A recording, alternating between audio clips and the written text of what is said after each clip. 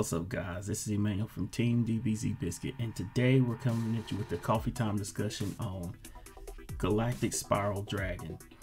This is a card that I feel that if you're playing the pure version of Odd Eyes or the Odd Eyes Guardragon is a very good card that you should be able to slide into the deck and can really help the deck plus the way you want to. It's a card that I feel that not many are really playing around with so let's jump into this uh, discussion and let's see what it's all about. So let's read the monster effect.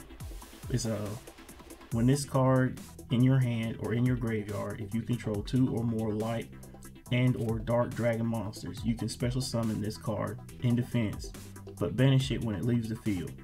During the main phase, you can make all monsters you currently control become level 8 until the end of the turn.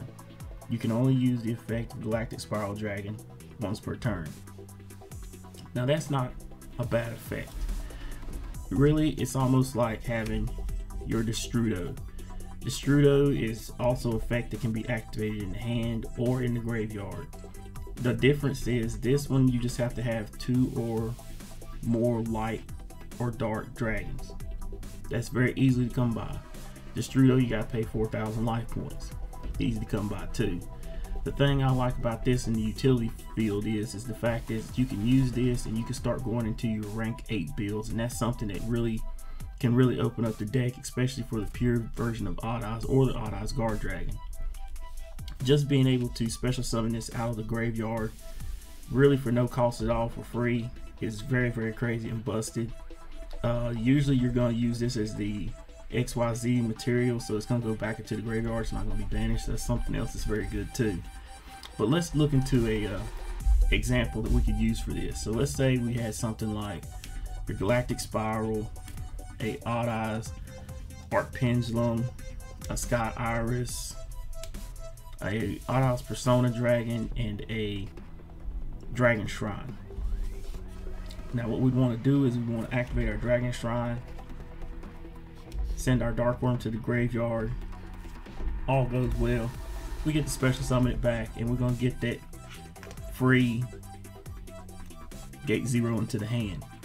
Now what we do is we set up our Sky Iris along with our pendulum scales making it so that we can you know start our plays off. We'll activate our Sky Iris our simple three card combo for odd eyes. Activate our Sky Iris to pop our persona that's gonna allow our Arc Pendulum effect to go off, gonna allow us to get our Sky Iris. We're gonna get our good old friend Mirage Dragon to the hand, and that's gonna allow us to special summon our Performapal Dissolve Odd Dissolver to the field.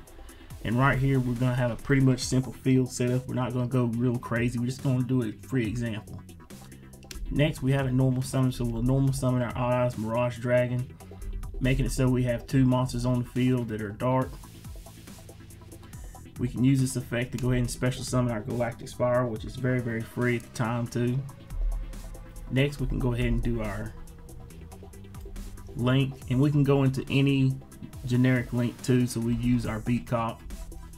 Next, we'll activate our pin scale again, and then we'll just pendulum summon those two dragons that we just used as material back out. And this is where things get really good, and I really like it a lot. Because next we can sit here, we can use our dissolvers effect, use one of our pendulum monsters and go into our vortex. That's going to be one bounce and it's also going to be a negate. Next we can use our Galactic Spiral Dragons effect making everything a level 8. We use these two in overlay and this is where I really really like the deck because where we had Odd Eyes Vortex to get a bounce of one monster and a negate that's very good. We also could use cards like Dingirsu being able to send one more card off the opponent's side of the field. That's something that can be very useful, especially in the pure version of Odd Eyes. Also, too, the thing I like is, is if a card would be destroyed, it's going to give a good protection on it. So that's something else, too, that we can use to help float the deck and keep uh, board state the way we want to. Another card that we could use is Hope Harbinger Dragon. And this is something I'm really looking at it because it's going to help me to not have to worry about going into FA Dawn Dragster.